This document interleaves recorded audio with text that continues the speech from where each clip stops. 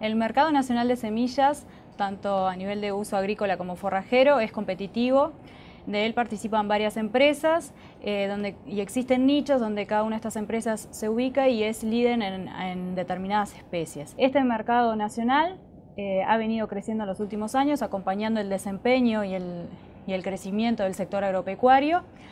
Eh, generando oportunidades de agregado de valor y eh, diversificación de negocios. El marco institucional es una fortaleza de, este sector. La institucionalidad es reconocida a nivel internacional por su calidad y por su transparencia.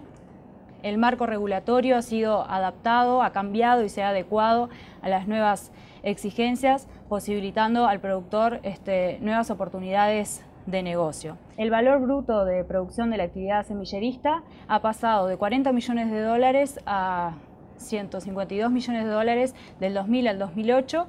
Este, esto, eh, si bien es un gran incremento, representa apenas el 3% del valor bruto de producción agropecuario y se debe a la expansión del consumo local.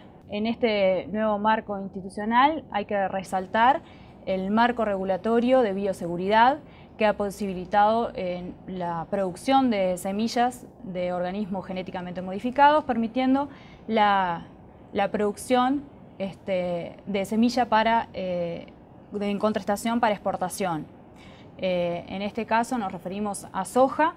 A pesar de que Uruguay corre con ventajas, dado la, localización, eh, que hay un marco normativo que, que se adecua para ello, hay capacidades técnicas, eh, las exportaciones de semillas de soja en contrastación han venido cayendo en los dos últimos periodos, eh, debido principalmente al volumen y no a los precios, ya que los precios logrados son muy buenos, 1.550 dólares por tonelada, en comparación con el, recibido por el grano, alrededor de 500, eh, se triplica, digamos, el valor de la semilla respecto al grano. Este, esta caída en el volumen de las exportaciones se ve explicado por un descenso, una disminución en la producción a, nivel nacional, en, las hectáreas sembradas de semilla de soja para eh, contrastación. Eh, después de haber logrado 2.000 hectáreas en los años 2011 y 2012, en estos últimos dos periodos se reduce a 1.500 hectáreas eh, de, semilla de soja en contrastación para exportación. se ve como una oportunidad, las condiciones están dadas, y si bien tenemos competencia eh, en, la región, eh, la institucionalidad es nuestra fortaleza y habría que aprovecharla. Respecto a las semillas forrajeras, también se vienen este, cambios normativos a partir de, debido a los desvíos varietales encontrados por INASE en sus ensayos. Em, se propone a partir de ahora, de diciembre de 2014, eliminar gradualmente las categorías comerciales eh, clase A y clase B de las gramíneas forrajeras, eh, Dactylis, Bromus, Festuca, eh, Raigras y Avena.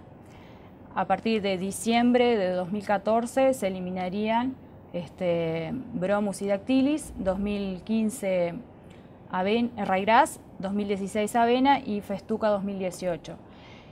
a partir de ahora se va a poder exclusivamente producir y comercializar semilla certificada de estas gramíneas. Em, el objetivo principal es la, profesionalización de la producción este, y también eh, que Uruguay pueda incrementar su producción de semillas certificadas, ya que pueda acceder al mercado regional con exportaciones, lograr tener excedentes y poder exportar, ya que en Argentina, por ejemplo, desde el 2010 la producción de, estas gramíneas, eh, ya se exige la, certificación de estas gramíneas. Este, y bueno, la idea es que con este agregado de valor eh, poder participar del mercado regional y por qué no acceder a mercados de mayor valor como el europeo, ya que existe una homologación a nivel internacional de dicha certificación.